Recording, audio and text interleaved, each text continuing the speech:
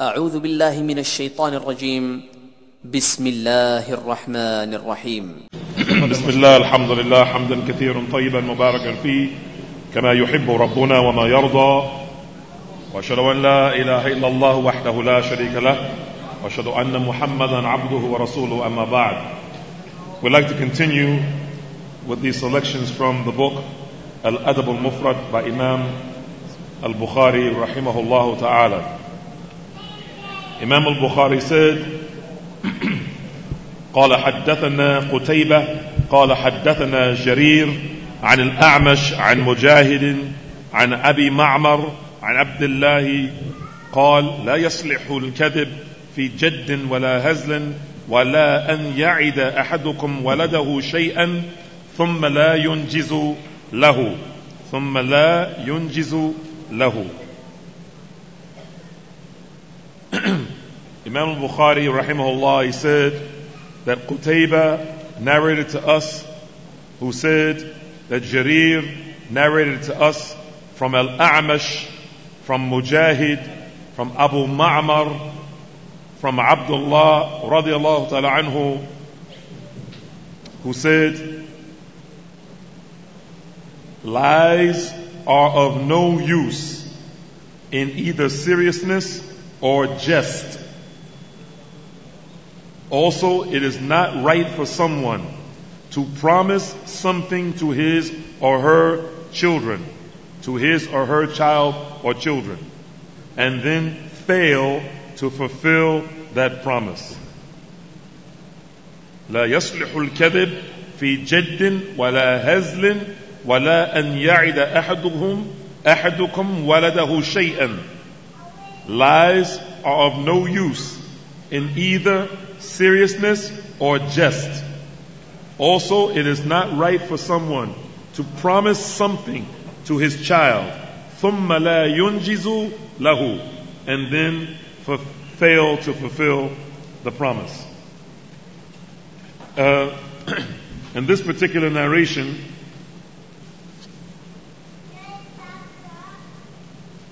we have the statement of Abdullah radiallahu ta'ala anhu, who was also Abdullah ibn Mas'ud, as we mentioned in the other narration, that it was Abdullah ibn Mas'ud. And Abdullah ibn Mas'ud radiallahu ta'ala anhu, he makes the statement that this lying, that falsehood, has no benefit whatsoever, it has no use whatsoever when it is done The fi jadd aw fi hazl. في جد ولا هزل that it has no benefit whatsoever. And this lets us know once again the nature of lying, the nature of not telling the truth. The nature of lying and not telling the truth. Because we find the companions of the Messenger of Allah sallallahu alayhi wasallam following the Messenger of Allah sallallahu alayhi wa ala alihi wa sahbihi wasallam in his statements either saying directly what he said or paraphrasing what he said by bringing a statement from themselves. Uh, there are some occasions, and we mentioned earlier, that some of the Muslims have fallen into the uh, the, disres- the disrespectful uh, manner towards the Sharia or towards Islam of lying and joking when they lie. And we mentioned that there's another narration that is going to follow, inshallah ta'ala, where the Prophet sallallahu uh, mentioned about people lying when they're joking.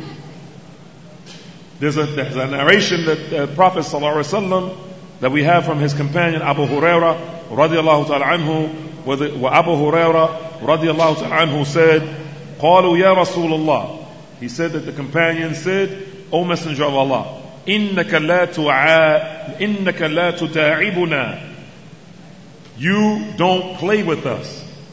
Or excuse me, you play with us. Indeed, you play with us. And the Prophet ﷺ said, إني لا أقول إلا حقا That I don't say anything but the truth. In other words, they were saying that the Messenger of Allah sallallahu alaihi wasallam that the Messenger of Allah sallallahu alaihi wasallam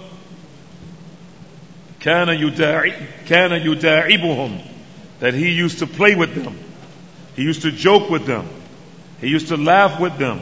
But when the Prophet ﷺ told jokes and when he played with the companions, he did not do it except he told the truth. Unlike what we do today. Unlike what we do today. Um, and we mentioned this before the break during the first session that this is something that has become the habit of Muslims is to lie and to tell jokes when they lie. And this is something that is not accepted. When we find the narration of the Prophet ﷺ where he was warning the Muslims, warning, warning the Muslims in those days and warning those who came after those companions that the Prophet ﷺ when he said, ويل للذي يحدث فيكذب ليضحك به القوم ويل له ويل له The Prophet ﷺ, he said, Woe to the one who talks, he says something, and he, by saying something, he lies. And he does it ليضحك ليضحك به القوم he does it to make the people laugh. This statement of the Messenger of Allah وسلم, where he ended the narration by saying, Waylun lahu, waylun lahu, woe unto him, woe unto him. He began the statement by saying, woe unto the one who does this. And then he ended it twice by saying, woe unto the one who does this. This statement of the Messenger of Allah وسلم, if you took away, if we took away the statement, la yudhiku bihi al-qawm, to make the people laugh, it still shows that lying when the person is joking or not, if the people laughed or not, is something that is considered a lie with Allah subhanahu wa ta'ala. Whether they laugh or not. Whether they were meant it or not. And this goes back to the statement of Abdullah ibn Abbas, the statement that we have in front of us, لا يصلح الكذب في جد ولا هزل. That lying does not benefit. It does not give any benefit when either when a person is serious or joking. So if someone says to a person, for instance, and as we mentioned earlier, that this has become a habit of the Muslims. Someone says, for instance, the phone rings. The phone rings. And there's a brother who is, as we say in America, we use the word intended. But the proper the proper term for it is engaged. A person is engaged to a, a woman. So this brother is intended to assist her. This is just an example. And we'll try to think of some others. And his friend answers his phone. And he says to the brother, when the phone rings, he says, Assalamu alaikum, alaikum salam. And uh, then the brother says, when he hangs up, he says, Oh no, I'll call back later. Uh, the brother will, will be here shortly. Or he's in the bathroom. And the brother's actually in the bathroom. When the brother comes out of the bathroom, he says, who was at the call? He said, that was Sister Fatima. She was calling because she's, you know, she's madly in love with you and she can't wait until you get married. She can't wait for that date to come. You know, five weeks, in five weeks you'll be married and she, that was her calling. But it really wasn't her on the other end. He just did this as a joke. The person who does this is lying. This is a sin. This is a sin and it's not permissible to do this. Whether you, whether fi jed or fil hazl. Whether it is serious or joking. Another example. Uh, someone calls whom you may not want to talk to at the time. So you tell your child when they answer the phone, tell them I'm busy. But you're sitting right there doing nothing. Tell them I'm in the bathroom. Tell them that I'm uh, doing my homework. But you're sitting right there in front of them. If you tell your child to tell that person that, now you've committed two sins. At least. You've committed two sins at least. Number one, you have lied. And number two, you have instructed your children to lie. And you will probably, as the ulama have mentioned, if it doesn't stop, you will probably get the sin of your great, great, great, great grandchildren. What do we mean by that? What we mean by that is you have instilled a characteristic of evil in your child by making it comfortable for them to transmit lies. So your child is now going to teach their children that, and their children are going to teach their children that, and their children are going to teach their children that, and their children are going to teach their children that. Because they learned it from you. Because the children learn from us. So what kind of message do we think we're sending to our children when we tell them to tell someone a lie? Tell them I'm, I'm busy. Tell them I'm not here. Tell them I went down the hall to the laundry room. I'll be right back. So these types of things are not permissible. A brother says to you, you left your hat at my house and it was a hundred dollars in it. But it wasn't hundred dollars in it. This is a lie. This is a lie. So these things we have to stay away from. Whether we are doing it seriously or whether we are doing it as a joke, we have to stay away from it because if we don't, then it becomes a part of our nature. We become comfortable. This is the meaning of وَلَا تَتَّبِعُوا خُطُوَاتِ الشَّيْطَانِ Don't follow the footsteps of shaitan. Because shaitan comes khutwa khutwa. He comes khutwa bi khutwa. He comes step by step. He doesn't come with a big boulder. Boom! He comes with a little thing that he throws out there for you and then you implement it and you become comfortable with it. So it's just a teeny little lie in the form of a joke. And you tell another one, then you tell another one, then you tell another one, then you tell another one, حتى يكتب عند الله كذابا until you are recorded with Allah as a liar, as a chronic liar. also in this particular statement of the Messenger of Allah sallallahu alaihi wasallam, ويل للذي يحدث فيكذب ليضحك به القوم ويل له ويل له Woe to the one who makes statements or who speaks, then lies, meaning while he's speaking, to make people laugh. To make people by way of that statement laugh. Waylun lahu, waylun lahu. The ulama of Islam, they differ on what is the meaning of wail. The ulama, they differ on what is the meaning of wail. Some of the ulama, they say that wail means la'na. May the person be cursed. And some of the ulama, they say that wail, the word that is used for woe unto that person, woe unto him, woe unto him. Some of the ulama said that wail is the pus that exudes or comes from the people's bodies in the hellfire. The pus that comes out of the people who are being tortured in the hellfire, some of the ulama say that that is called wail. And Allah subhanahu wa ta'ala knows best what the meaning of it is, but whatever it is, is something that we don't want. It's something that we want to keep away from ourselves. And the Prophet ﷺ, as we mentioned, he said it in the beginning of his statement, and then he said it two times at the end. وَيْلُ لِلَّذِي يُحَدِّثُ فَيَكْذِبُ Woe unto the person, wail unto the person who speaks, and when he speaks, he lies, and he does it to make the people laugh. There's a brother who I know who has a habit of doing this, and he does it so much. He does it so much that the people have around him have become uh, comfortable with it, and they they actually expect him to do it.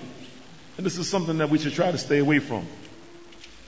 Then the Prophet ﷺ's companion, he said, وَأَلَّا وَلَا أَنْ يَعِدَ أَحَدُكُمْ وَلَدَهُ شَيْئًا ثُمَّ لَا يُنْجِزُ لَهُ Or that he promises his child something and then he fails to fulfill that promise. He promises his child something and then he fails to fulfill that promise. The ulama say that this is haram. That this is haram. And the Prophet ﷺ, he didn't give permission to do this. There's no concession or permission from the Prophet ﷺ. And we have a narration, a hadith from Abdullah ibn Amr radiallahu ta'ala anhu, where he said, دعتني أمي يوما ورسول الله قاعد في بيتنا صلى الله عليه وسلم فقالت ها تعال أعطيك فقال لها رسول الله صلى الله عليه وسلم وما أردت أن تعطيه قالت وما أردت أن تعطيه قالت أعطيه تمرا. فقال لها رسول الله صلى الله عليه وسلم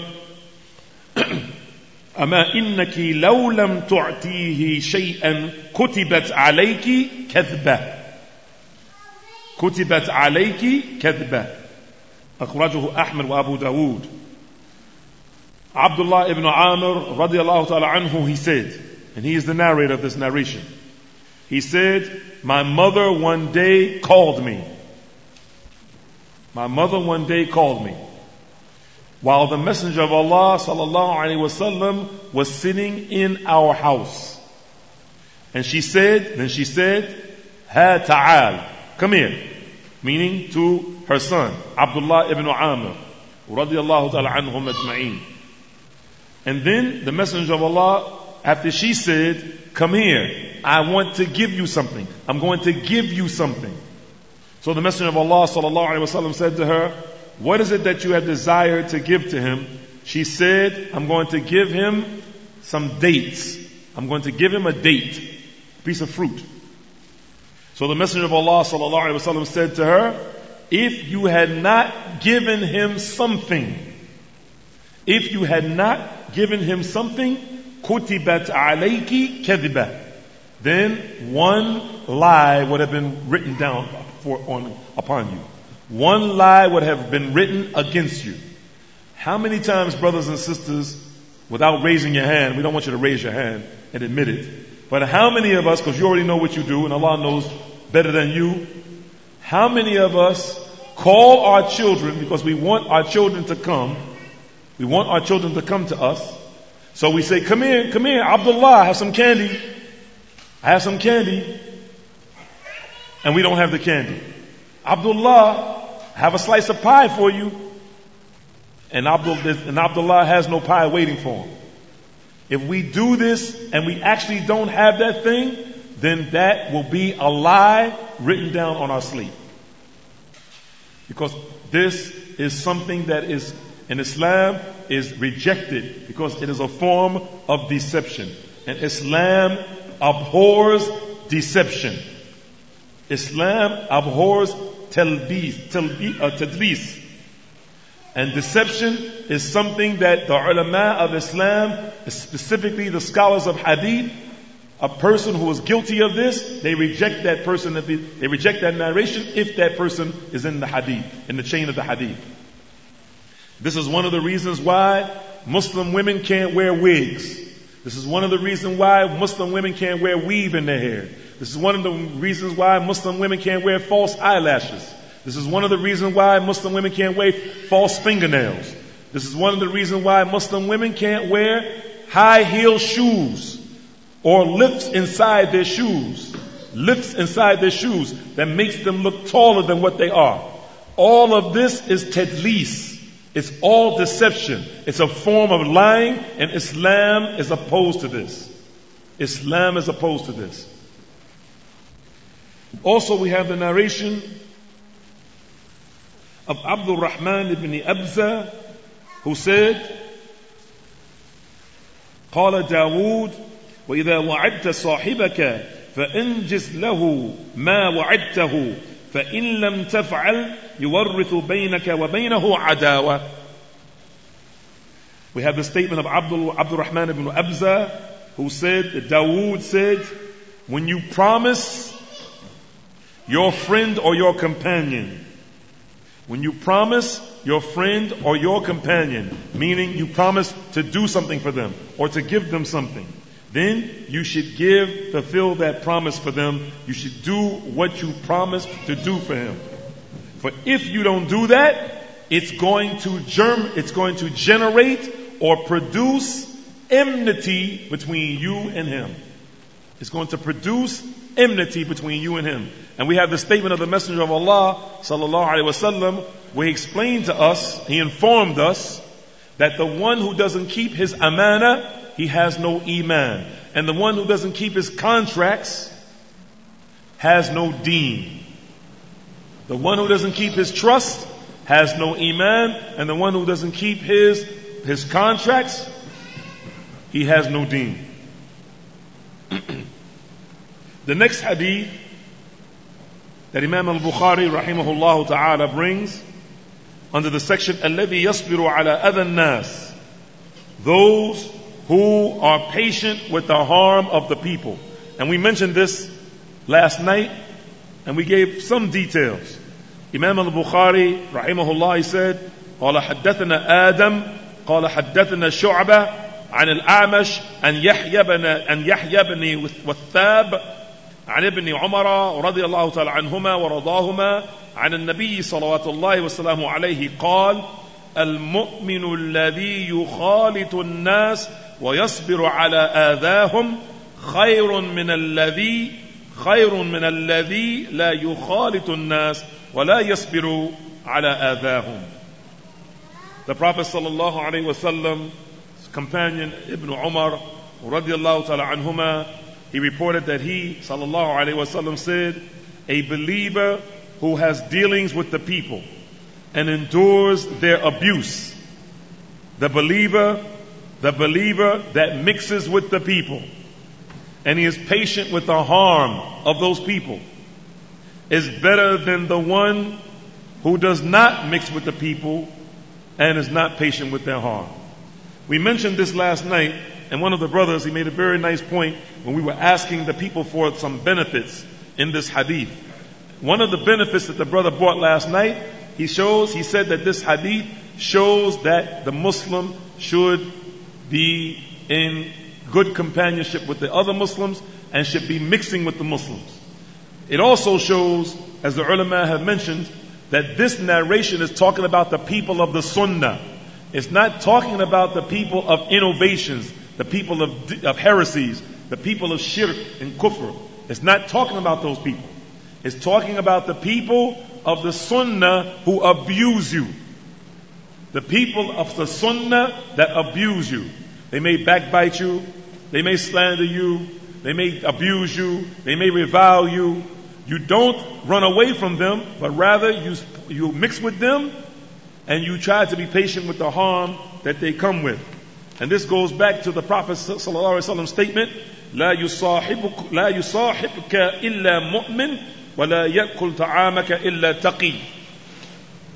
That you should not allow anyone to be your companion except that he's a believer and you should not any allow the person to eat your food except that he is righteous. Except that he is righteous. So that the people who you are not going to allow to be around you, or you're not going to feed them with your food, the only way that you can do this as to practice the, the, this particular hadith with regards to the people who are the sunnah is that you are mixing with them. And even if some people give you some harm, then you have to be patient with them, as the Prophet ﷺ was patient with those people, was patient with those people who used to revile him and used to slander him and used to backbite or used to slander him and used to say things, abusive things to him and do abusive things to him. So in this narration, the Prophet ﷺ said, Al-Mu'min, the believer. He didn't say Al-Muslim. He said, Al-mu'min alladhi yukhalitu an-nas wa yasbiru ala adahum khayrun min alladhi la yukhalitu an-nas wa la yasbiru ala. That the, Muslim, the believer who mixes with the people and is patient with their harm is better than the Muslim who does not mix with the people and is patient with their harm. And we mentioned also last night that when the Muslim who's upon the Sunnah, who is upon Da'watul Salafiyyah, he harms you then you should follow the instructions of the Prophet ﷺ and sticking with those Muslims even though they're abusive to you. And not go to the places where the people who are not upon the sunnah, as we mentioned last night. How are you going to leave the masjid of the people of Ahl Sunnah just because there are some people who don't treat you the way you would like to be treated or the way that you should be treated to go to a place where the people are sitting in the dark in the basement of the masjid holding hands and screaming like dogs in some dhikr circle. How you, because they treat you better on the other side of town. Or some people who are followers of this woman, Amina Wadud. Oh, they treat you good over there. Oh, yes, they, they come and visit me when I'm sick. And when I need help with my telephone bill, they help me. But these are not the people of the Sunnah.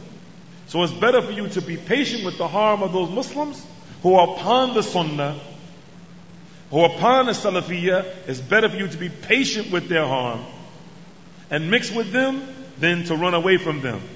On the other side of the coin, we who are abusing those people should change our ways and correct our character and ask Allah subhanahu wa ta'ala to make us of those who are true to our word and true to our message of this da'wah. Because the Prophet ﷺ, he told us, Bashiru wa la tunaffiru. Be bringers of glad tidings and don't run the people away.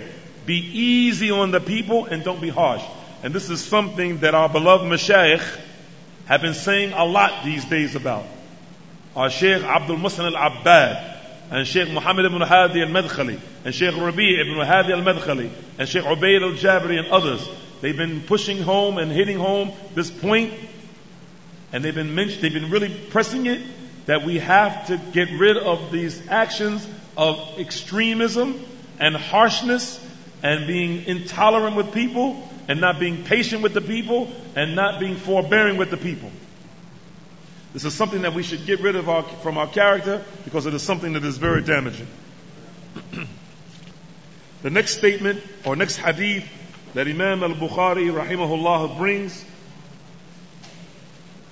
under the section الصبر على الأذى قال حدثنا مسدد قال حدثنا يحيى بن سعيد عن سفيان قال حدثني الأعمش عن سعيد بن جبير عن أبي عبد الرحمن عن أبي عبد الرحمن السلمي عن أبي موسى عن النبي صلوات الله وسلامه عليه قال ليس أحد أو ليس, أو ليس شيء أصبر على أذى يسمعه من الله عز وجل إنهم ليدعون له ولدا وأنه ليعافيهم ويرزقهم أو كما قالوا صلى الله عليه وسلم Abu Musa radiallahu ta'ala anhu, he reported that the Messenger of Allah sallallahu alayhi wasallam said, No one or no thing is more patient with the abuse he hears than Allah. No one or no thing is more patient with the abuse he hears than Allah. Some people even ascribe a son to him, and yet he grants them good and provides them with sustenance. And yet he grants them good or provides them with sustenance. Here we like to go back to the format we had last night, last night, because I'm sure, wallahu ta'ala a'lam wa a'la, that many of you have probably never heard this hadith before. And this is a tremendous narration. So we're going to go back to the, to the format that we had last night for this specific hadith. And we want to go around the room, inshallah ta'ala, and ask the brothers what are some of the benefits that we gain from this hadith. And we'll read it again, inshallah, for those of you who didn't catch it. The Messenger of Allah sallallahu alaihi wasallam said, ليس أحد أو ليس شيء أصبر على أذى يسمعه من الله عز وجل إنه ليدعون له ولدا وأنه لا يعافيهم ويرزقهم No one or no thing is more patient with the abuse, with the abuse and the harm he hears than Allah. Some people even ascribe a son to him, and yet he grants them good and provides them with sustenance. We want the brothers at the raise of a hand, inshallah, to bring some of the fawaid, some of the benefits from this narration. Anybody? No, faddal. Now, the brother is making this a very good point of, of benefit. The brother is saying that this hadith clearly shows that even though some of the people, like the Christians, and also there are some of the Jews who also do the same thing, that they ascribe to Allah a son, subhana. They ascribe to Allah a son. And even though they ascribe a son to Allah, which is one of the most reprehensible things that a person can do, which is one of the most reprehensible things that a human being can do, is to ascribe to the beneficent Ar-Rahman a son. He still provides them. He still gives them food, etc. No. No. Uh, another benefit from the narration. No. Faddal. Now, the brother is saying, mashallah. The brother is giving as a benefit from this an attribute that's a, a, a description that is attributed to Allah. And that attribute is patience. And of course, Allah subhanahu wa ta'ala's patience is a perfect patience, and there's no patience like Allah's patience. So we don't say that uh, Allah subhanahu wa ta'ala is patient and I'm patient and our patience are equal. Or our patience is like Allah's patience, or Allah's patience is like His creatures' patience. But Allah subhanahu wa ta'ala says, وَلَيْسَ كَمِثْلِهِ شَيْءٍ وَهُوَ السَّمِيعُ الْبَصِيرُ There's none like Him. There's none like Him, nothing like Him, and Allah is the all-hearer, Allah is the all-hearer, and He's the all-seer. But this is, this hadith is a proof that Allah subhanahu wa ta'ala has patience. But we do not ascribe the attribute of patience to Allah similar to the description of patience that a human being has. Because Allah subhanahu wa ta'ala, there's nothing like Him, and وَلَمْ يَكُلْ لَهُ كُفُوًا أَحَدٍ and there's nothing comparable to Him. Anyone else? Of another benefit from this narration? That Allah subhanahu wa ta'ala hears everything. Without confusion. Yeah, the brother is making the point that Allah subhanahu wa ta'ala, He hears everyone, but He doesn't hear everyone with confusion. Like he, the brother is saying, he gives the example that if one or two people are talking, another person is talking, you can't hear everybody clearly at the same time. It's, it's impossible. But Allah subhanahu wa ta'ala, He hears His creatures. And this narration is another proof of another attribute of Allah subhanahu wa ta'ala. Of another attribute of Allah azza wa jal. Any, any, anything else from the benefits from this narration? And there are many. There are many benefits in this narration. Anything else? No, faddal. Yeah, the, the point that the brother's making, which is a comment on this, a side comment on this, is that Allah subhanahu wa ta'ala's patience is with them in this life. But as for the next life, they're going to be punished. It's finished. So Allah subhanahu wa ta'ala is patient, meaning, going back to what the brother said in the beginning, Allah subhanahu wa ta'ala sends down the rain for them, just like He sends down the rain on the believers.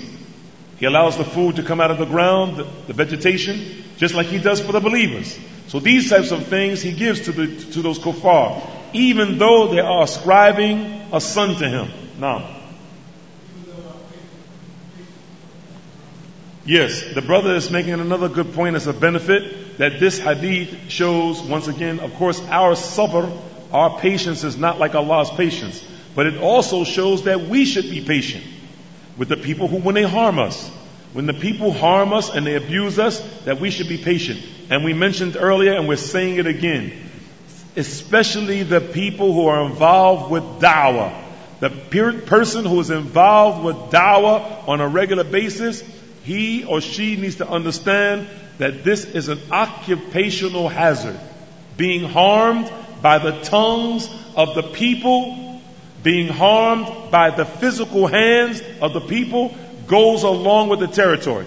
I can't even tell you, brothers and sisters, how many times people have lied on me in my effort to try to spread this word.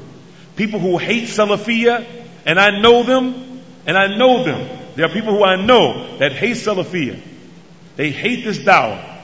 And they hate the people who are spreading this dawah. Some of the things that they have said about me. I'll give you an example, just one example. Just outside earlier when we took the break, just about 35, 40 minutes ago, one of the brothers said something that is on the East Coast, and now I hear it's on this side, that Saudi Arabia put me out of the country and I can never go back, not even for Hajj or Umrah. Not even for Hajj or Umrah. That Dawood Adib was thrown out of Saudi Arabia for backbiting and slandering. That was one version. The other version, the brother told me another version on this, on, in this part of the United States is another version. There's, I've heard about four different versions. That Dawud Adib was thrown out of Saudi Arabia, that he was taken to the Sharia court. He was taken to the Sharia court to be whipped. To be whipped. He was thrown out of Saudi Arabia, never to return. He can't even make Umrah or Hajj. These are some of the things that the people, when they hate the dawah and they hate the people who are promoting the dawah, they'll lie on you. They'll, they'll backbite you. They'll slander you. They'll fabricate things on you. All kinds of things. And there are many, many, many examples I can give just for me specifically, and even the other brothers who I know who are involved in this dawah. We're just making this point, not to be questions, inshallah. We're just making this point so that the people can understand that whoever, whoever is involved with the dawah, that they have to understand, like Shaykh al-Islam Muhammad ibn Abdul Wahhab, that they are going to be harmed. You are going to be harmed. Either you're going to be harmed by the people's tongues, or you're going to be harmed by the people's hands. You may even be physically put in the hospital and you may even be killed at the hands of Muslims. At the hands of Muslims. So we have to be patient with the harm.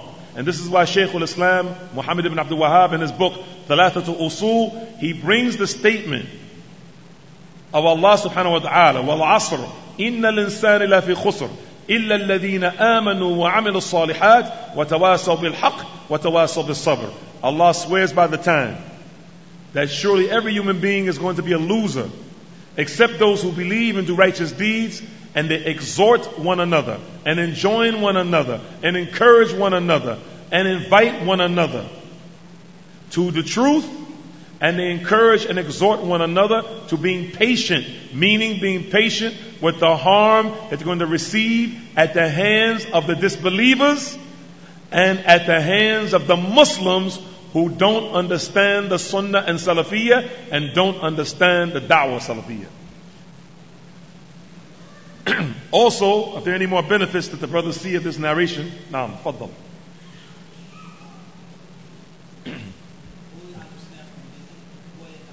MashaAllah, ahsant. Ahsant. This is a very, very good point. This narration also shows, Barakallahu fihi. May Allah bless the brother and all of you. This narration also shows that Allah subhanahu wa ta'ala, His kindness and His mercy exceeds His punishment and His wrath. Because Allah subhanahu wa ta'ala is patient with the people. And Allah subhanahu wa ta'ala, He, even though they're abusing Allah subhanahu wa ta'ala, and even though they're harming Allah subhanahu wa ta'ala with these statements of shirk, of polytheism, Allah subhanahu wa ta'ala, He doesn't follow up in this life that is, doesn't follow up these things with a bad, with a bad deed or with a, with a, with something evil against those people. Even though there are cases where Allah subhanahu wa ta'ala, and because the kuffar, this is their Jannah, He will, He will have some trial sent to them. But in general, Allah subhanahu wa ta'ala does not do this to His creatures, and this is another benefit that we get. In addition to what the brother just said, when the statement of the Prophet ﷺ says that Allah is harmed, it doesn't mean that Allah is affected by that. We should understand that. When we say Allah is harmed, it doesn't mean that Allah is affected by that. Any more benefits that we see from this narration? There's one glaring, glaring benefit that no one has, bring, has brought up so far. Now, Allah subhanahu wa ta'ala provides everything. That's another one. Inna Allah huwa ar-razzaq dhu dhu quwwatul mateen. Allah subhanahu wa ta'ala is ar-razzaq. He is the provider and he is the owner of al-quwwa and that quwwa is mateen. That quwwa, that power is firm. It's mighty. But there's another point, a very, very important point that is not being mentioned. Now, yes, that Allah is being harmed once again, and of course Allah is not being affected by that harm, and we're being harmed, but we should be, we should be, we should bear that harm with forbearance. We should bear that harm with forbearance. Now, and I hope that's what you said. And Allah is not pleased that a son is ascribed to him. That's another benefit. That Allah subhanahu wa ta'ala is not pleased with a son being ascribed to him. And it's very interesting that in this narration, the Prophet wasallam went all the way to the most oppressive thing. Because this saying that Allah has a son is a form of oppression. This is oppression. This is dhulm. And the ulama of Islam, they say that dhulm, which is commonly translated as oppression, is of three types. Dhulm is of three types. The first type of dhulm or oppression is against Allah. The second type of oppression is against yourself. You oppress yourself. The third type of oppression is oppressing someone else. The oppression against Allah, the dhulm against Allah is shirk. Ascribing a partner to Allah. Saying that Allah has a mother. Saying that Allah has a son. Saying that Allah has a father. Saying that Allah has a partner. The second type of oppression is when you oppress yourself. When you place a burden on yourself that you cannot bear. When you pray, place a, a, a, matter on yourself, a burden that you cannot bear. And the third type of oppression is when you oppress someone other than yourself. And the worst type of that type of oppression is to kill someone without justification. To take the life of a human being, Muslim or Kafir. Muslim or Kafir that you don't have the right to take. This is the worst type of oppression the ulama like Shaykh al-Uthaymeen have mentioned towards the human being. So when the person is oppressing Allah, they're saying things like Allah has a mother and Allah has a son. And these are things that Allah subhanahu wa ta'ala hates. And it's very interesting once again that the Prophet sallallahu alaihi wasallam, he brought it all the way up to the most reprehensible thing that a person can do which is to say that Allah subhanahu wa ta'ala has a son. Hmm? The glaring thing, we didn't get to it yet. We wait for somebody to say it. Hmm? The narration again for the brother so he can bring that glaring benefit. No one or no thing is more patient with the abuse he hears than Allah. Some people even ascribe a son to him, and yet he grants them good and provides them with sustenance. Anybody see that benefit? There's another benefit here. A serious benefit.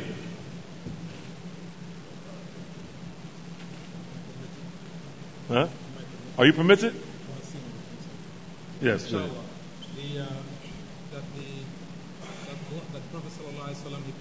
You need to have a microphone. The, the Prophet wasallam, he point to that aspect of the Prophet wasallam. he mentioned in this hadith, in this narration, and that uh, that they ascribe a son, that they ascribe a son to him, which is of course the the sin that if a person does it and they die upon it, they will go to Jahannam wa billah. So now and Allah subhanahu wa ta'ala, the Prophet he said that he grants them good and he grants them benefit, showing that the good and the benefit is only temporal, it's only in this life, because no way can a person uh, ascribe a partner to Allah subhanahu wa ta'ala, and the good and the benefit will be also in the akhirah. So the benefit that we get from this is that Allah subhanahu wa ta'ala, the Prophet ﷺ is pointing to that that kabiran, that great sin that has been ascribed, that they ascribe a partner to him, in spite of that, know that Allah subhanahu wa ta'ala give them good and benefit. But also the point of benefit is to know that, that that benefit and that good is only in this life. It does not go to the hereafter at all. Now, you got that?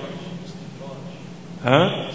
Yes, the brother is saying istidraj. The brother is saying in, in light of what uh, Abu Dawood, the Imam, has mentioned, the brother is saying istidraj. And istidraj, for those who don't know what istidraj is, Istidraj is when Allah from his, one of the sunnah, one of the sunnahs of Allah, is that Allah subhanahu wa ta'ala allows the servant, the slave in this life, in the dunya, to, uh, to be increased in the worldly things, even though that person is disobedient.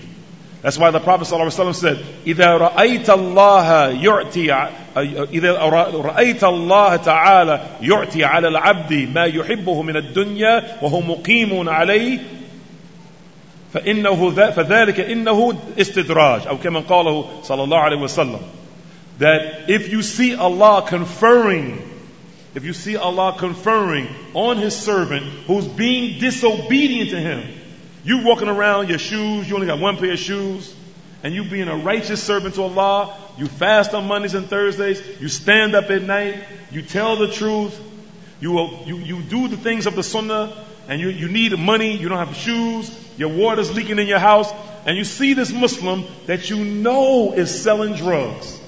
The brother's selling drugs. The sister's committing all kinds of heinous, abominable acts.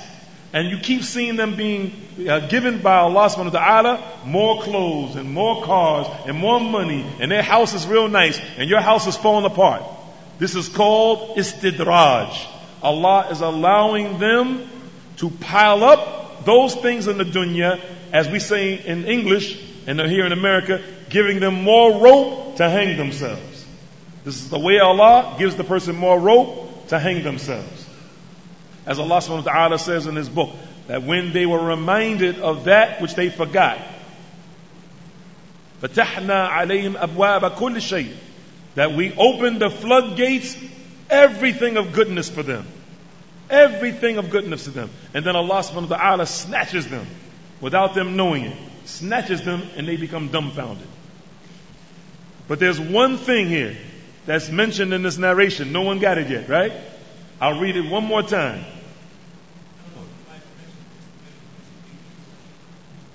Now, being patient with being patient with the commandments of Allah. Uh huh. And being patient with staying, staying away from being disobedient to Allah. And this is exactly what the ulama say. They said that sabr, that patience is of three types. Patience is of three types. One, being patient with the commandments of Allah. The second is being patient with the prohibitions, meaning stay away from the prohibitions. Staying away from prohibitions. And the third one is being patient with what Allah has decreed.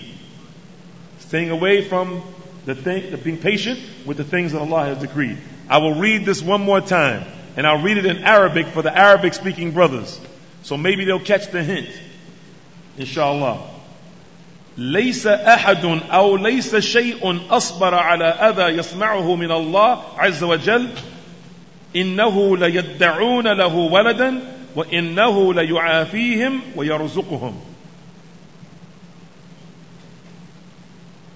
No one or no thing is more patient with the abuse he hears than Allah. Some people even ascribe a son to him, and yet he grants them good and provides them with sustenance. Did anybody catch it? That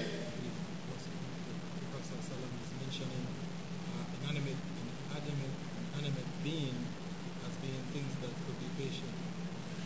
That the Prophet ﷺ, he's saying that Allah, that Allah's Prophet ﷺ is mentioning in this hadith that inanimate things can, uh, are even being patient. So what's the proof in the hadith that inanimate things are being patient? The word shay. Is he right, brothers? ليس أحد أو ليس شيء أصبر على الأذى there's no one or no thing. Is the brother right when he says this? When he says inanimate things, and his proof is that the prophet said no thing, no one or no thing.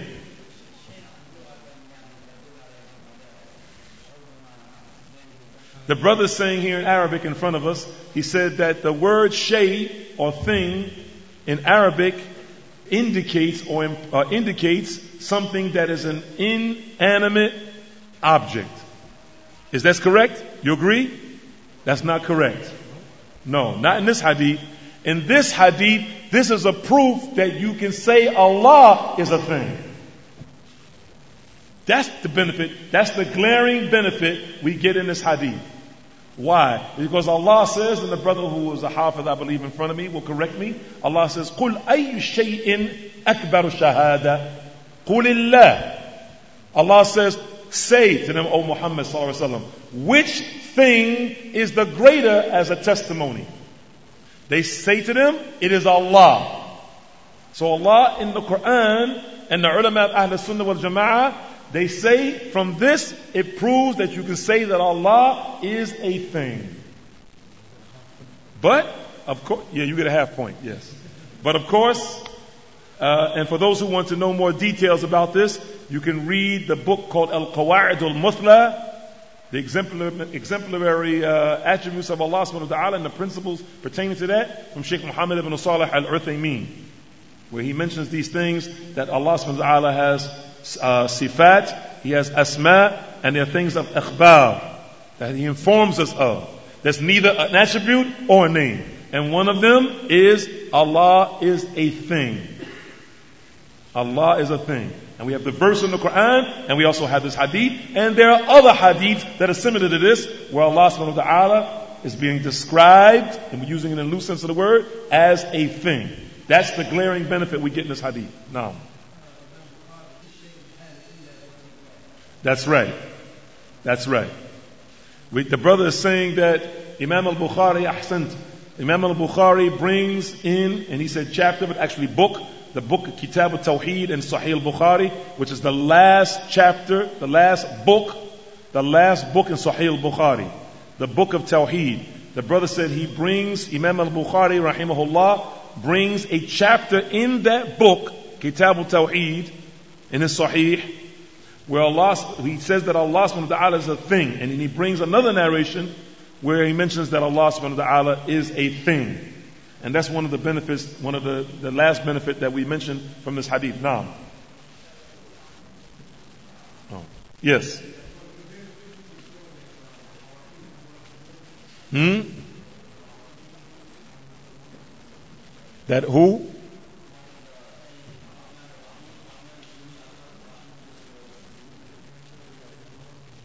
Oh, yes, yes. The brother saying, and this is, uh, it's, it's implicit not explicit. The brother is implying that uh, two of the names of Allah subhanahu wa ta'ala, one is Ar-Rahman, Yarhamakumullah, and one is Ar-Rahim. One is Ar-Rahman and one is Ar-Rahim. And the ulama, they say that one of those names specifically deals with the, dis- the believers and the disbelievers in terms of mercy. And the other one specifically deals with the mercy, the mercy for the, for the believers and beneficence and compassion for the believers. And this is absolutely true and it's implied in this particular hadith. Wallahu ta'ala a'lam. Now, uh, we're going to end it here, inshallah. We have about 10 minutes left for questions that revolve around the topic. And uh, if there are no questions revolving around the topic, then, inshallah, we'll take the. Uh, those that are general. But the, the, the policy was, or the, the policy is that we're writing these things down. We're writing them on pieces of paper and we're sending them up. And this is the policy. So inshallah, if you can do that, we'd appreciate it. And be patient with us.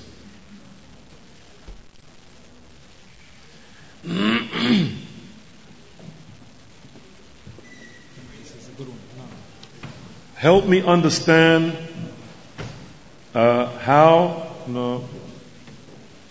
Help me understand how we know that Allah is a thing is of a benefit. No, we're not saying that that is a benefit. We're saying that that's a benefit in the hadith to let us know that Allah has been mentioned as a thing. That's what we're saying. It's information. It's information. Right. Like for instance, if someone says, uh, if someone thinks that someone made a mistake when they said the only person that, that is perfect is Allah. Right? You, you follow me? Would you say that's a mistake? Huh? You say that was a mistake? You said it's not a mistake. brothers over here say, okay. You say it's not a mistake, and they say it is. Right, but you didn't hear what the statement I made. What's the problem with what I just said? Because I referred to Allah as a person.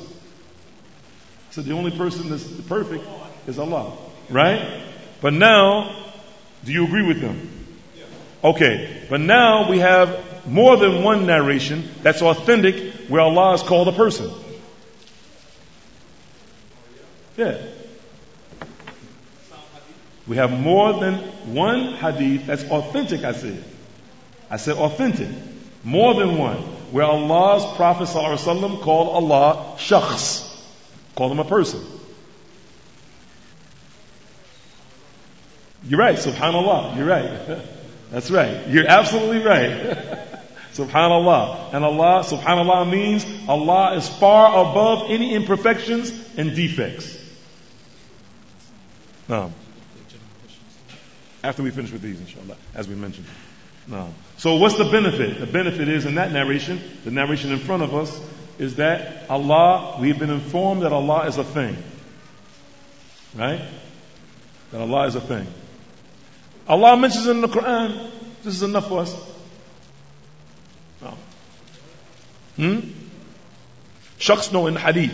But the, the, the sunnah is revelation.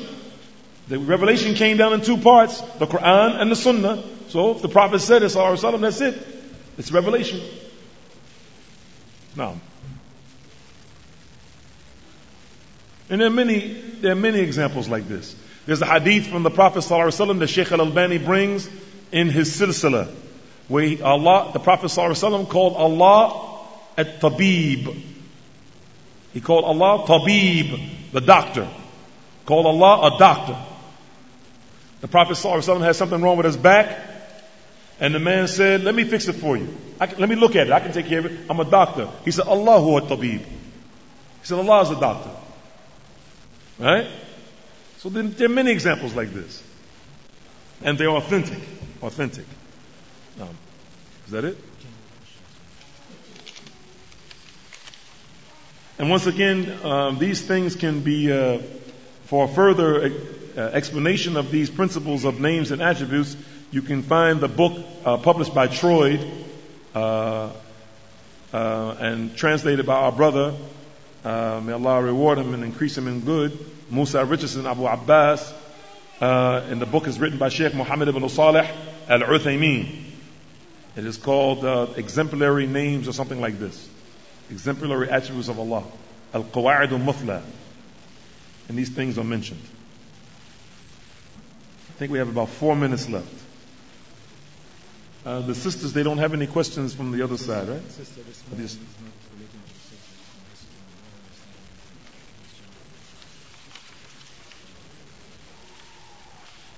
Actually, uh, for tomorrow, we have two hadiths left. And then, alhamdulillah, we're right on time. We have two hadiths, actually four hadiths left in this uh, section of Al-Adab al-Mufrad.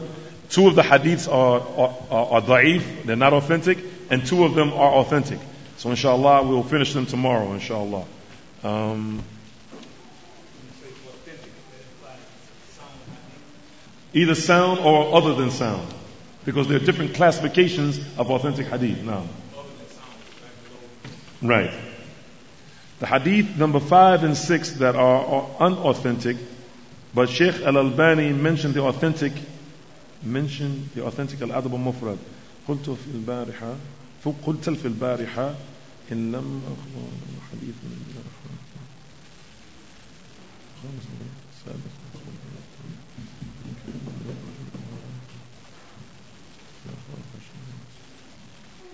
Now, uh, the brother is mentioning, he's saying, he's, he's making a statement that we mentioned yesterday that the fifth and the sixth hadith in this section are unauthentic. Uh, and he says, but Sheikh al-Albani mentioned the authentic al-adab al-mufrad. Yes, he's absolutely right. The brother is right that Sheikh al-Albani, he mentioned, and he has an authentic al-adab al-mufrad, but he also has an unauthentic al-adab al-mufrad. Sheikh al-Albani took al-adab al-mufrad and he made sahih and da'if. Sahih is like thick like that, and the da'if one is about uh, maybe like this, this thin, like that. And those two hadiths, of two, these two hadiths, he said they are not authentic. When we, when we believers take punishment for being upon Salafiyah, take punishment for being upon Salafiyah, does that mean that we should turn our face and take it on the other side? No, we're not saying that you should turn the other cheek. But we're saying that Allah subhanahu wa ta'ala, uh, He is the one who is Al, who is Al Halim. He is Al Halim. He is the one who is clement. He is the one who pardons people when they abuse him and when they harm him. And Allah subhanahu wa ta'ala has given us a prophet, sallallahu alaihi wasallam, who was also one who was tolerant with the people. So if the people abuse you, try to be patient with them. Try to be patient with them. Because many people, many people are just ignorant. I'm always telling the brothers, for instance, I'm always telling the brothers that I know quite a few people who don't like Dawah Salafiyah, but they like me. I know quite a few people like this. They like Brother Dawood Adib, but they don't like Dawah Salafiyah. And they'll listen to me, they won't listen to other people because they like me. Likewise, we have people who will harm us because they don't like either one. I don't care if the people don't like me. But it is a sin upon you if you don't like dawah salafiyah. If you don't like this dawah that's calling to the book of Allah and the authentic sunnah of the messenger of Allah, the way the companions and the tabi'un understood it along with the third generation, if you don't like that, then that's a serious problem. Not liking Dawood Adib is no problem. That's no big thing because I'm nobody. I'm no one. And I'm sure the, the, the people of uh, other than uh, the people who like to make war on the dawah, when they hear that, they'll agree. when I said that I'm no one and I'm nothing, I'm sure they'll agree with that. But when, when people abuse us, it's not, we're not saying to turn the other cheek, but we're saying be patient with the harm. Be patient with the harm. I think we have one minute left. We'll save these, inshallah What time is it?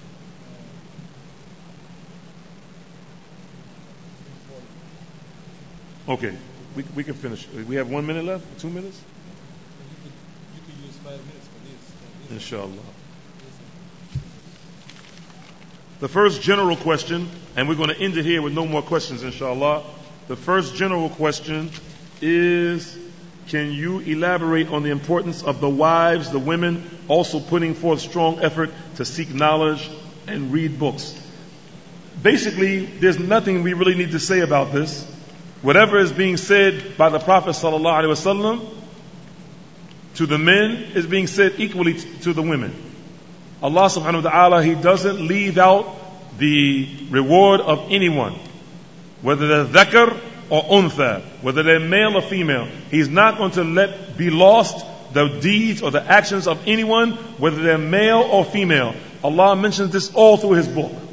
In fact, Umm Salama, Umm Salama, the wife of the Messenger of Allah sallallahu alaihi wasallam, she asked the question one time, how come we don't hear anything about the women in the Quran? You know? How come we don't hear anything about the women?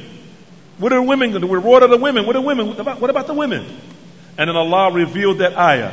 إن المسلمين والمسلمات والمؤمنين والمؤمنات والقانتين والقانتات والصادقين والصادقات all the way to the end of the verse والذاكرين الله كثيرا والذاكرات أعد الله لهم مغفرة وأجرا عظيما Surely those from the male and female Muslims, from the male and female believers, from the male and female pious, from the male and female who tell the truth, all the way down to those of the males and females who remember Allah much, Allah has promised them a great reward and forgiveness from Himself. So they're going to get a, the women are going to get a great reward also if they strive to make the effort of learning, getting ilm. If they do this, they will definitely get rewarded by Allah subhanahu wa ta'ala. And all they have to do is just read what Allah says about the men. I mean, what Allah says in general is to the men and to the women. I read an article that said hijab and niqab or the hellfire.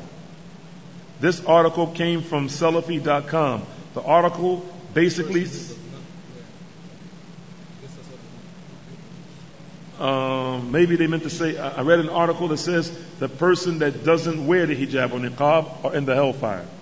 This article came from Salafi.com. The article basically said if a woman does not wear niqab, that they are going to hell. Can you elaborate on this? I can't elaborate on it because I don't know it.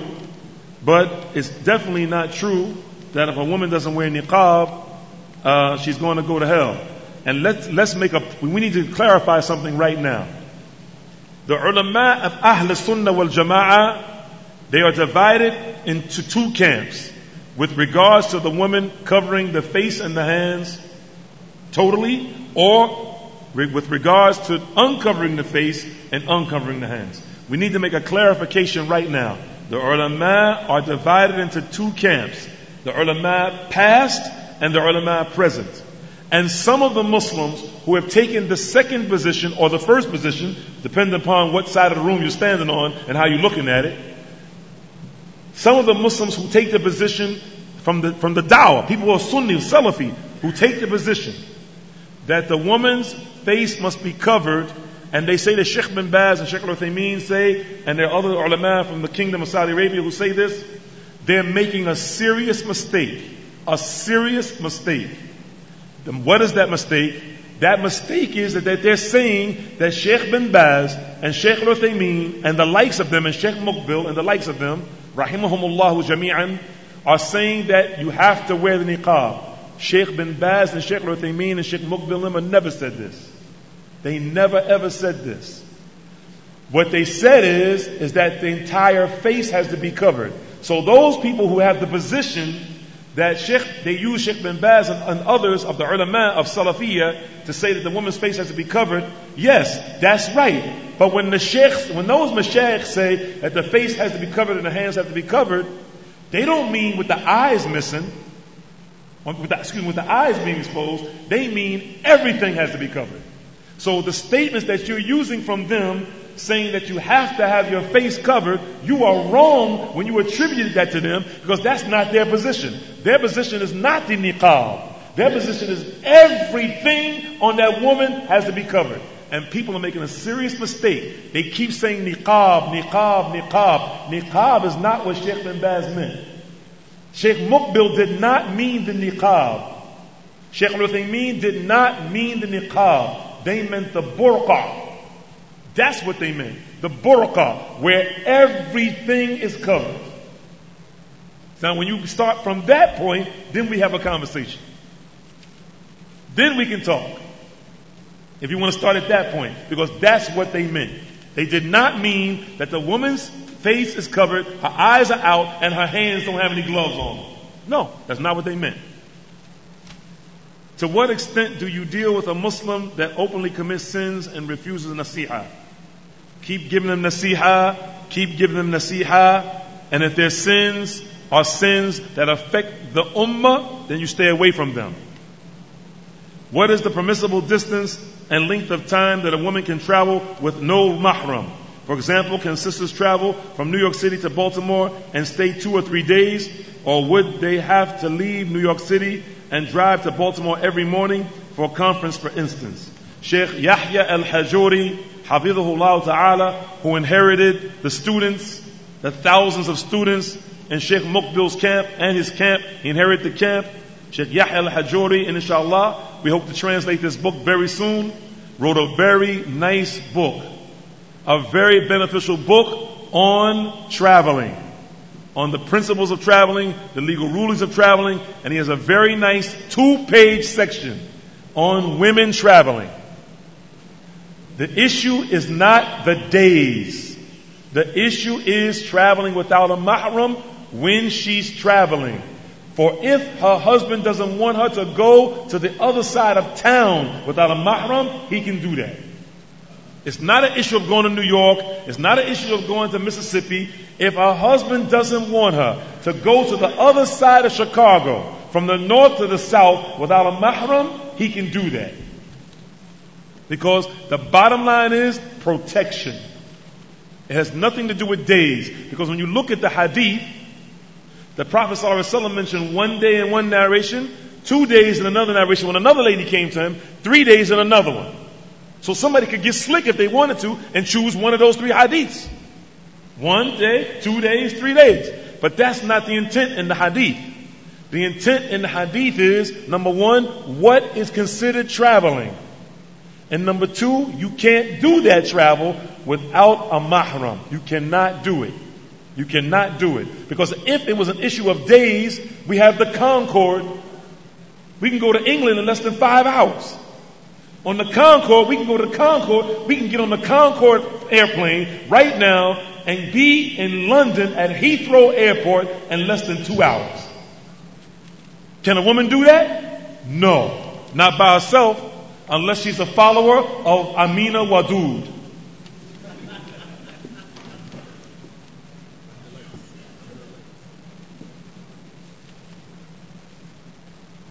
On the etiquettes of the woman, it states don't treat your urban wife like a rural wife. And don't treat your rural wife like an urban wife. In the community we live in, there is no Arabic teaching, but at the Hizbi Masjid, there is Arabic classes. Is it okay to learn from them? As I am hesitant to take anything from them. Uh, as for the statement, um, don't treat your urban wife like a rural wife, I've never heard this before. I've never heard this before. Which doesn't mean that it's not true. Because Imam Shafi'i, rahimahullah, he said, which of us can say that there's a sunnah that has never, has not escaped him? There's not one of us that can say that there's a sunnah that hasn't escaped him. So, I don't know all of the sunnah and I don't know all of the hadiths. Nowhere near it. But I've never heard of this hadith before. I've never heard it. If this is a hadith, I don't know. As for learning Arabic from the people of deviation, the ulama have explained this. If you want the answer for this, you can go to www.bakkah, B-A-K-K-A-H.net. The answer is there, inshallah. Sheikh Ubaid al-Jabiri has explained it. Should we be happy that we are going through the test since we know that it, uh, Allah loves a person, that He tests him? Yes, we should be happy.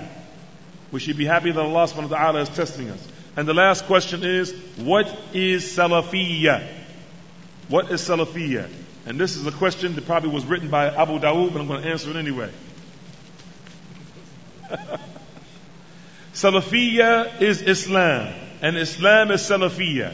And Allah subhanahu wa ta'ala says in His book, يا أيها الذين آمنوا دخلوا في السلم كافة ولا تتبعوا خطوات الشيطان إنه لكم عدو مبين O you who believe, enter into Islam in its entirety. Enter into Islam in its entirety. Some people translate it as wholeheartedly.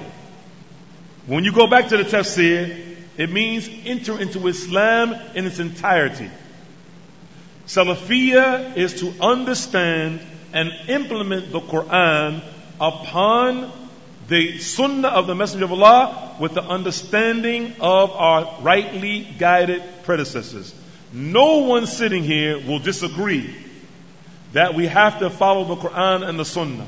No one, I'm sure, will disagree that we have to follow the Quran and the Sunnah. But the disagreement comes when we have the understanding of the Quran and Sunnah. Some of it is sahih and some of it is saqim. Sometimes our understanding of the Quran and the Sunnah is a healthy understanding, and sometimes our understanding of the Quran and the Sunnah is a is an unhealthy or ill understanding. And the majority of the times, our understanding and implementation of the Quran and the Sunnah is unhealthy. So this is where that third pillar comes in. That third pillar comes in which is the companions of the Messenger of Allah sallallahu. How is it that a person can say they believe in Islam, they believe in the Quran, they believe in the Sunnah of the Messenger of Allah sallallahu in beliefs, and not follow the practical implementation and application of the Quran that they say they believe in, and the Sunnah that they say that they practice as implemented by the companions of the Messenger of Allah? How can they do that? It's just, it, it, it just amazes me. Salafiyah is the correct way to understand and practice the Quran and the Sunnah. How could it be that Muslims say they follow the Quran and the Sunnah, but when it comes to their political affairs, they follow Maududi? How can you say that you follow the Quran and Sunnah and you believe the way companions believe, but when it comes to your political affairs, you're going to follow the teachings of Sayyid Qutb? or Abdullah Azzam or people who have led people astray. How? How? How are you saying that you're going to have an economic program that you believe in Allah and His Messenger and you follow that way, but you're going to leave off the economic system that the companions established and follow someone else's economic program that you learned in some university here in America. How? So the way Salafiyya is to follow the way of the Salaf. It is to follow the way of our rightly guided predecessors. It is to follow the way that they understood it and they practiced it. And this is why Allah says in that ayah, as Shaykh al-Albani and Shaykh Abdul Muhsin al-Abbad and other great ulama living and dead have said, that Allah subhanahu wa ta'ala says, وَمَن يُشَاقِقِ الرَّسُولِ من بعد ما تبين له الهدى ويتبع غير سبيل المؤمنين نوله ما تولى ونصله جهنم وساءت مصيرا Whoever opposes the messenger after the guidance has been made clear to him and he follows a way other than the believers, we will leave him to that which he turned to and cast him into the hellfire, a hapless journey's end. Allah didn't have to say, وَيَتَّبِعْ غَيْرَ سَبِيلِ الْمُؤْمِنِينَ and follows a way other than the believers. Why did Allah put in the in- interior of that ayah, in the middle of that verse, and follows a way other than the believers? Who are the believers in that verse? In fact, when Allah subhanahu wa ta'ala mentions the believers in the Quran, who in the world do you think He's talking about? You? You think He's talking about you? He's talking about them.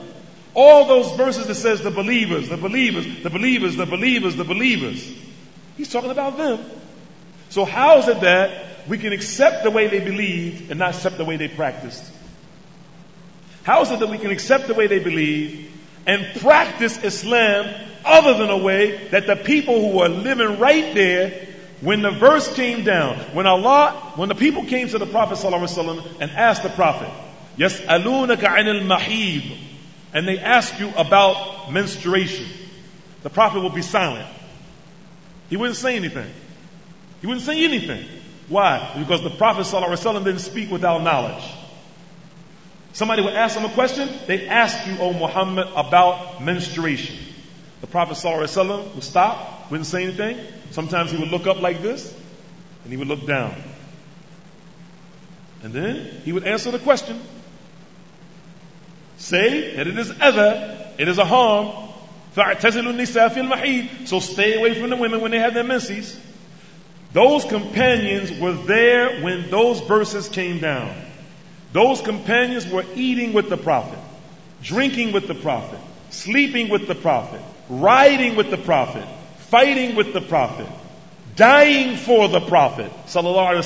How is it that you can reject the statement of Abdullah ibn Abbas or Ibn Mas'ud or Abu Bakr or Omar, or any of the Sahaba, for the statement of somebody living today. So the people of Salafiyya and Salafiyya are, Salafiyya is to follow the Quran and the authentic Sunnah the way the companions understood it and practiced it, and the way the Tabi'un who follow them in righteousness follow them, and the third generation. And this is it in a nutshell, inshallah ta'ala. That was a real last question because this one just came from the sisters. Okay. I really want to And this, this is the last question that just came from the sisters. What do the scholars say about the women who do not cover their face and hands but do wear uh, hijab properly? Once again, there's a difference of opinion amongst the ulama of Ahl Sunnati wal Jama'ah. There is a difference of opinion. There are some ulama who say that the women have to cover everything. Everything has to be covered. And there, there are ulama of Salafiyya, of Ahl Sunnah. And there are also ulama that say, no, she doesn't have to do this. That is only on the wives of the Prophet. But those same ulama who say that she doesn't have to cover her face and her hands, those same ulama, they say that in times of fitna, she should cover her face and her hands. Like Sheikh Al Albani, he's one of them. He did not believe that it was obligatory for them to cover, that only the wives of the Prophet, alayhi but at the same time, he not only said that in times of fitna they should cover all of his wives. I heard it with my own my own ears. He said, all the women in my household, they cover their faces and their hands. They cover their faces and their hands. Why? Because we're living in a time of fitna. We're living in a time of fitna. So we don't say, what do the ulama say about those women who don't do this? Or, yeah, there are ulama who say that she's a sinner. And the other ulama who say that she's not a sinner. So we leave the affair to Allah. But if your husband wants you to put on that burqa, if your husband wants you to cover everything, then you should obey your husband. You should obey your husband. And if you obey your husband, after making your five prayers, after fasting your month, keeping your private parts pure and clean and chaste, you'll be able to enter into any of the doors of Jannah that you want. Anyone that you want. Because you have a ta'at ba'daki. You have obeyed your baal, which is another word for zawj. You have obeyed your baal, as the Prophet used the word sallallahu alaihi wasallam, and as Allah subhanahu wa ta'ala uses that word in the Quran. هذا وصلى الله وسلم وبارك على نبينا محمد وعلى آله وأصحابه وسلم تسليما مزيدا. سبحانك اللهم وبحمدك أشهد أن لا إله إلا أنت وحدك لا شريك لك أستغفرك وأتوب إليك. والسلام عليكم ورحمة الله وبركاته.